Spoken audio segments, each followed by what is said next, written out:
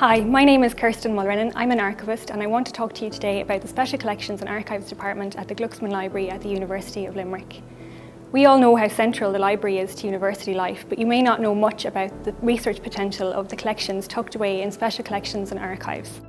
The material we hold is what's called unique and distinctive collections. We have over 2,000 archival boxes and 40,000 printed works. The oldest item in our care dates from 400 AD. That's over 2,000 years of history stored in the Glucksman Library. This can be made up of limited, rare, or first editions of books or unpublished um, original material that can't be found anywhere else. And it's this original primary source material that I want to talk to you about today. So because we're removed from the main library collection, the archive can seem mysterious to students. You may be unsure of who we are, what we do, what we hold and how you can access us. Um, or even if you need special permission to come into us. And what we want to do is to bring the specialised services that we offer to a wider audience. So first off, what is an archivist? An archivist collects, manages and provides access to primary sources. Archive collections come to us from a variety of different sources and these can be the papers of local families and estates, the records of local businesses, um, political parties and societies, the personal papers of authors and poets, the list goes on. These previously unseen collections can incorporate anything from medieval manuscripts and maps to 19th century letters and photographs, uh, to VHS tapes from the 1980s and everything in between. We start by investigating the context of the collection so that we can better understand who created these records and why, and what they add to the narrative we already know about a particular event, period or person. And if we're very lucky, they may tell us something entirely new about the past.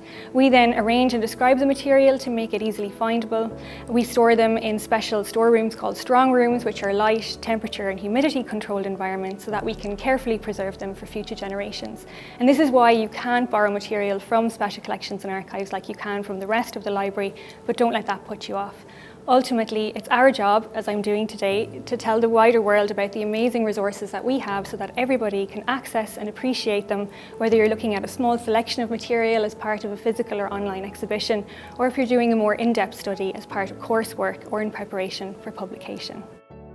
So how did I become an archivist? Um, I'm a proud UL graduate. After I completed my BA in English and History here, I went on to study to be an archivist. I was awarded Ireland's first Archives PhD and I went on to work in a number of different archival services. As a UL undergraduate, I was fortunate enough to have access to the primary material in special collections and archives. This interaction with primary source material, actually holding something hundreds of years old and investigating its context, really captured my imagination and inspired my future career. And I'm glad to say that that novelty has never worn off. I'm delighted to have returned to UL now as archivist and I'm passionate that current UL students have a similar experience of the department to mine. So one of the biggest things that we can do to raise awareness about the department is to embed our collections on the curriculum and to make accessing special collections and archives a more ordinary experience.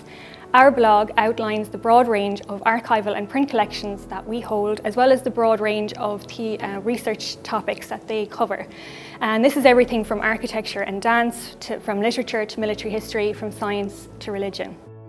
We teach classes and host workshops for undergraduates and postgraduates from a variety of disciplines and we encourage researchers both from UL and further afield to use our research collections in their theses and other research projects. A lot of the feedback we get from our users is that accessing one of our primary sources has really given their project something extra, you know, something different that isn't found in the history books. And while they may have been initially unsure as to how to use the department, um, they really wish that they had known about us sooner.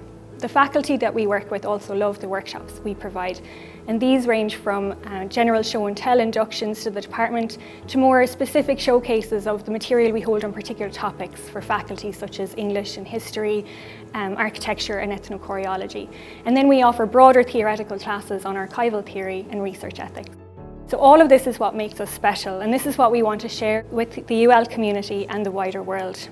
So while we may need special storerooms and special handling procedures to carefully preserve our valuable historic material, our archives and rare books are for everyone to discover anew, and you don't have to be a senior academic to come and consult and enjoy the items in our collections.